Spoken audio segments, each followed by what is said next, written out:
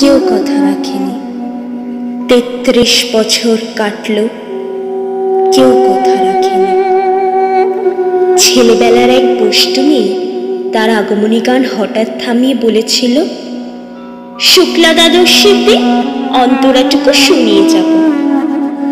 তারপর কত চন্দ্রভোগ, আমাবস্যা চলে গেল। কিন্তু সেই পষ্টমী আর এলো না। পঁচিশ বছর প্রতীক্ষায় আছি। মামা বাড়ির মাঝে নাদের আলী বলেছিল, বড় হও দাদা ঠাকুর, তোমাকে আমি তিন প্রহরের বিল দেখাতে নিয়ে যাব। সেখানে পদ্ম ফুলের মাথায় সাপার ভ্রমর খেলা করে। নাদের আলী, আমি আর কত বড় হব? আমার মাথায় ঘরের ছাদ ফুঁড়ে আকাশ স্পর্শ করলে তারপর তুমি আমার তিন প্রহরের বিল দেখাবে একটাও রয়্যাল গুলি কিনতে পারিনি কখনো। লাঠি লজেন্স দেখিয়ে দেখিয়ে চুষেছে লস্কর বাড়ির ছেলেরা। ভিকারির মতো চৌধুরীদের কেটে দাঁড়িয়ে দেখেছি ভিতরে রাস উৎসব।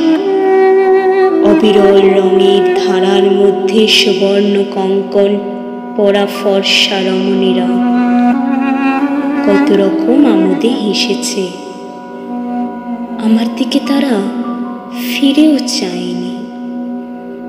বাবা আমার কাজ ছুঁয়ে বলেছিলেন, দেখিস, একদিন আমরা বাবা এখন অন্ধ।